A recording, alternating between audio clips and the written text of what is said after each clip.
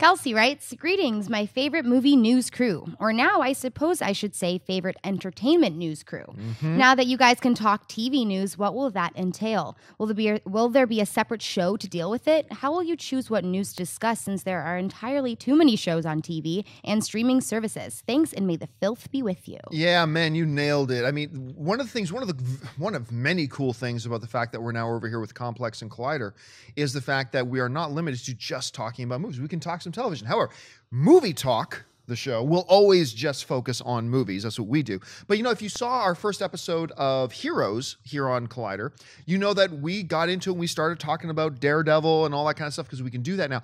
I do have an idea for a show. Actually, it's not an idea. We're going to do this show. Uh, we're going to start a show in the next couple of weeks um, called Should You Watch It? Because in the age now of Netflix and Amazon Prime and Hulu, you can now binge watch these shows that have started that maybe you've heard about, but you didn't know if you should invest your time in.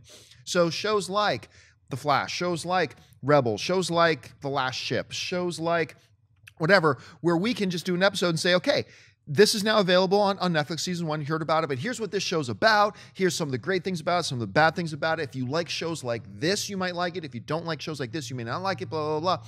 And like every week or every couple of weeks, do pick one show and do a should you watch it and end it with should you now go off and binge watch it next weekend to catch up for season two or for season three or whatever.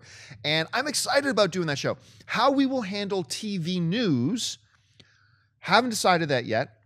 Um, we will figure something out, but uh, but yeah, it won't be a part of movie talk. If look, studio head Mark Ellis, what Yes, should John. we do with television? I'm very busy.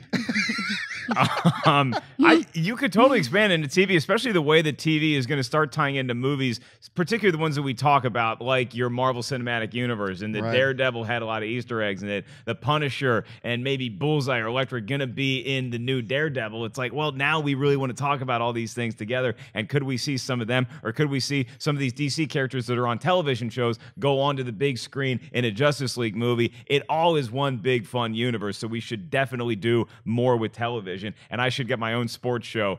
Uh, Collider NBA free agency. It's just me and Ray, and we just talk about how the Spurs are killing in free agency right now.